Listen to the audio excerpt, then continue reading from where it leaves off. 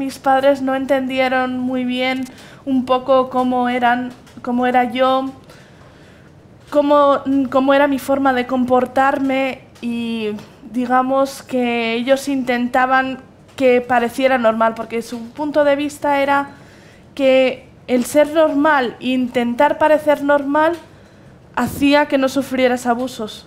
Pero yo tengo discapacidad, nunca voy a ser normal. Mis padres en ese aspecto no tenían, no tenían la razón, pero bueno, sí que es cierto que intento un poco entender cuáles eran esas razones que le impulsaron a, bueno, a tratarme de esa forma.